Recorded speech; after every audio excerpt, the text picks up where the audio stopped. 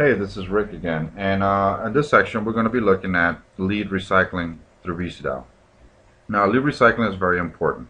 Well, when you purchase leads, um, you can't just run through the leads just once. In other words, to make leads more effective, you have to go back and be able to call the numbers that did not answer, that were busy, that were answering machines. You also need to be sorting out the numbers that were disconnected and everything. So, in order to make it more effective, you know, again, we have to call the list more than once. Not every number, but at least the numbers that didn't answer. Now, if we look here under the campaigns main, it'll show us our IDs, our basically our campaigns that are available. So we know that we have the test outbound campaign that is active, and it's got dial statuses. So that's what the dial status is, what we're going to be working for, working off of for the lead recycling. So in the same campaign menu here, we're going to click lead recycling and we're going to select the campaign leads to recycle which is going to be the test outbound campaign leads. Okay now in this screen what it's going to show us is uh, basically what status we want to be able to call.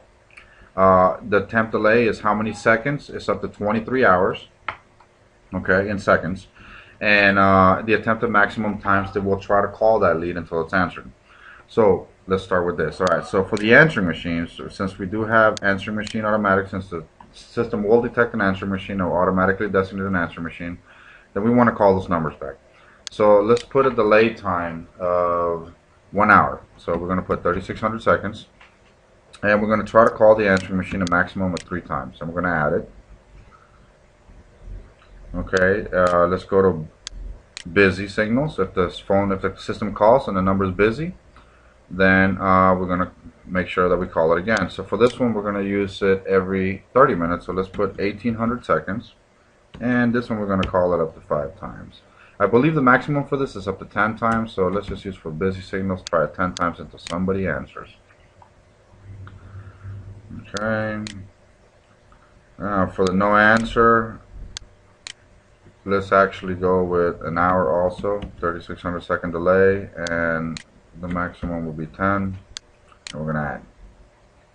So now, with this done like this, uh, we are now going to recycle automatically, okay, uh, all the answering machines, busy signals, and non-answers uh, at the respective times, at the respective attempts that they're going to try to, you know, make the call work, okay.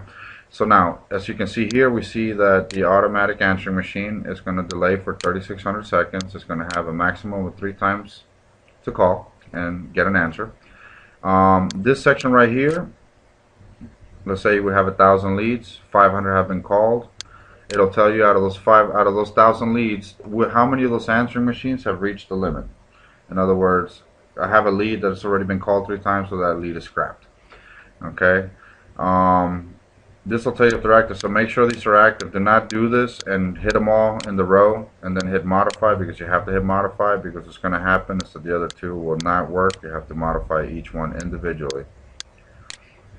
Alright, so now once we have this set, um, the system can automatically start calling and as this goes going through the answering machine busy and no answers, it'll start, it'll wait the minute, the um, a lot of times that we have set and it'll start calling back, calling back, calling back until a person is reached or the limit is reached.